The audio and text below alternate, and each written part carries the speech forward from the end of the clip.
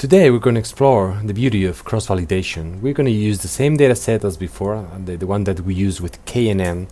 I'm going to, going to try to use this uh, caret functionality. So before that, if you go to my GitHub webpage, you can find, you can go here. Okay, remember github.com, mariocastro73 and this direction. So as I was saying, if you go here and you go to scripts, I have included one of uh, one interesting caret snippet that you can use in in RStudio. If you don't know anything about snippets, go to my video about snippets. So you can copy this and plug this into RStudio. Let's go, let's do this. So let's go back to RStudio, tools, global options, code, edit snippets, and if you go to the end, remember this one from the other video, I'm going to add this caret snippet, and this is going to be beautiful. Let's save it okay and here we go. So first of all let's call the library caret and then the data set that I was mentioning. Let's explore a little bit this data set as usual. So we have two predictors that are numerical values x1 and x2 and this categorical variable x as you can see we have two factors and labels no and yes. Okay so let's use this caret snippet. Caret snippet this is something written by me. It's not something standard, but I, but I love this sort of things.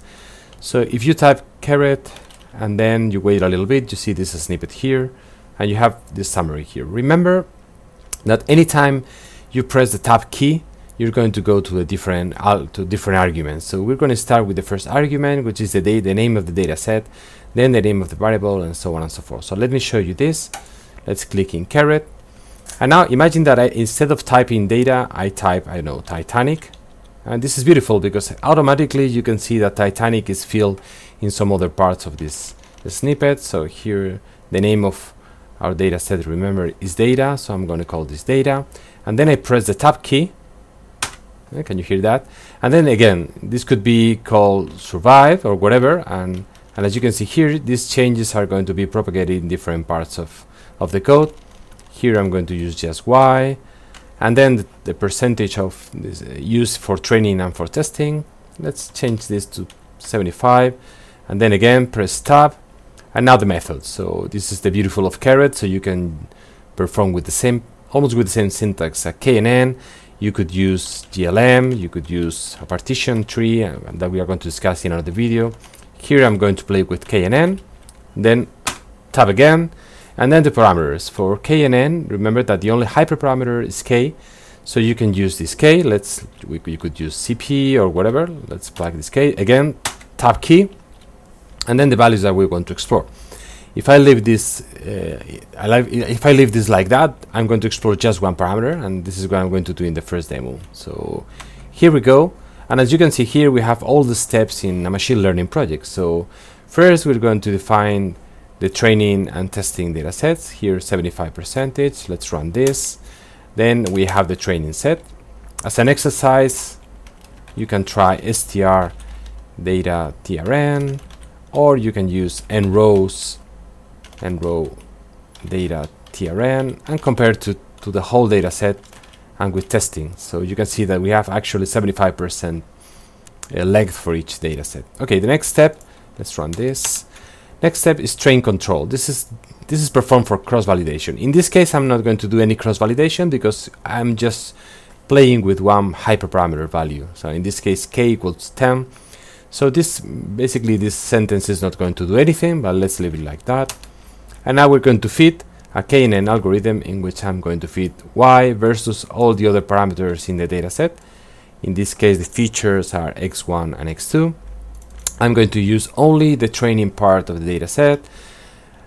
I'm going to preprocess the data. Remember that KNN is very sensitive to, to the dimensions of the variable. So with, with this, I'm going to subtract the mean of the parameters. So if I, let, let me do some calculations here. If I calculate the mean of data training x1, then I'm going to subtract this and I'm going to divide by the standard deviation. So again, if you compute SD, the, basically what I'm saying with this with this sentence is that take any feature x1 and x2 subtract the mean so center the data and divide by the standard deviation so scale the data.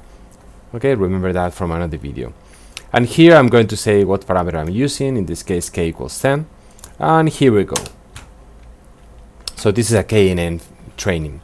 So let's do some predictions. If I run this just simply by calling the predict function and I'm here you can see I'm using this fitting and the testing data set. Okay if I run this and I look inside this prediction variable I'm going to see categorical values. Okay I can change the syntax. So if I run this instead of using this I use type equal prop then let's run let's call this dot prop. And if you look inside this new variable print dot prop you to see probabilities probability of yes and probability of no as you can see here as we only have two categories so one is one minus the other so 30 percent for yes that means 70 percent for no and so on and so forth okay Okay, let's forget about this, but okay, keep that in mind for another video. And now we're going to compute the confusion matrix. Remember, we're going to create a table in which we are taking the testing categories. So this is from, from the data set, and these are the predictions. So let's go. And as you can see here, we have a lot of true negatives and true positives, and a few false negatives and a few false positives. So accuracy is pretty high. In this case, as you can see, 88%. This is huge in, in general for a classification algorithm. That means that KNN is pretty good with that. Okay, so now if I plot this, sorry, if I print this, I'm going to see that this accuracy again and kappa, and if I plot this, as you can see here, we have an error. Why I'm getting this error? Because I'm using just one value of k. And basically this plot, when you plot a fit by itself, basically what you are trying to compare is different outcomes of the cross-validation okay so here look, what I'm going to do is repeat all the process but instead of using just one value of k I'm going to tune this a little bit so let's use again this snippet caret with cross validation okay so again caret click here again I'm going to use the value data y 80% KNN k equals 10 and here I'm going to change this so instead of using k equals 10 I'm going to use different values. I'm going to use a sequence from k equals 5 to a equals 100 by 5. So basically this means that I'm going to run this algorithm over and over again using k equals 5, 10, 15 and so on and so forth. And again, what's the meaning of this? I'm going to use cross-validation and I'm going to use 10 tenfold cross-validation. Okay, so let's run this again, just in case. Okay, let's see the predictions. Now I have higher accuracy and why is that? Because I'm training my KNN with different values of k and cross-validation is giving me the best one. So let's plot, let's print this one. And as you can see here, in, in, in the case before we have just, let me show you this, just one value of the accuracy and one value for the kappa. Remember that the higher kappa is the best because kappa equals 1 means that we are nailing the prediction with our model, okay? So in this case, we have different values of k, as you can see here. These values of k comes from this sequence, so you can change this if you wish. And for different values, we have different values of accuracy and different values of kappa. Okay, so let's now plot this. And as you can see here, this uh, we have this beautiful plot in which basically we're changing the number of neighbors. The number this is k, and we're plotting here accuracy. And as you can see in this plot, the highest accuracy comes from k equals 40 you can see this by simple inspection so k equals 40 uh, accuracy here is 0.9375 okay and this is what you see in this summary so this is beautiful because instead of playing or plugging k different values of k and trial and error until we find the best one in this case basically cross validation is giving us the best outcome so uh, this is why cross validation is is the queen in town okay let's do this in another way so imagine that you don't have a, a feeling of what's the best value of, of this range. You have this rule of thumb. If you take n row data, we have a thousand observations. If you take the square root of this, this is a rule of thumb. So basically, we should play with values around this one. This is what I'm doing here. So I'm, I'm ranging from 5 to 100. So 31 is more or less over there. But there is another way to call cross-validation, and you can comment this, and instead using tune length.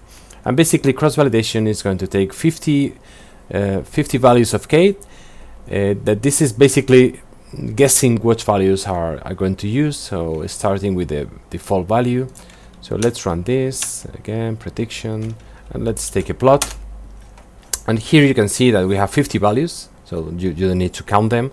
And now the, the maximum one is in 35 so for 35 we have eh, here we go. So we have this accuracy and basically this corresponds to this one.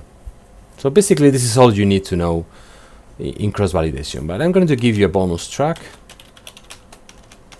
okay because here we're maximizing accuracy but maybe we want to maximize kappa or if we're playing with some I know training with vaccines or some COVID testing or whatever maybe we want to improve sensitivity. So what we can do here is change this line here. So let's copy this here. And we're going to do a new summary that we are going to use a multi-class summary. So let me try this first and run again. And as you can see here oh sorry uh, let's run this. Oh sorry we need a bracket. Okay let's run the, with this new parameter here. Let's plug in the same line. And then train again make some predictions and then plot the confusion matrix and play the outcome. And, uh, and the outcome as you can see here has tons of information. So not only accuracy and kappa but also different values like sensitivity positive predictive value and so on and so forth. So imagine that you want to maximize let's say kappa so here we're going to add a new value I'm going to use metric equals kappa. So let's plot this again so you can compare. Okay so this is maximizing accuracy. And now let's train again by using this metric kappa. Blah blah blah. Confusion matrix print this okay and now plot. And as you can see here now we are maximizing kappa. And now remember the maximum is obtained for 35 and this 35 basically means that this is the value for which not the accuracy but the kappa is the highest. So let's go there to this line. And as you can see here accuracy can change in another lines. In this case we also are maximizing accuracy but basically here we're maximizing kappa which is the second column so again you could change this metric. We could use sensitivity sensitivity. And then if you plot okay we're maximizing sensitivity here. The maximum is for 49 okay? Of course if you run this over and over again maybe you get different values but but you get the idea. So main messages of this video use cross validation you can play with a metric and you can do a couple of things tune your own parameters if you know enough about this algorithm. So this should change for different methods. Or simply let train the caret uh, train function to play with different values. Okay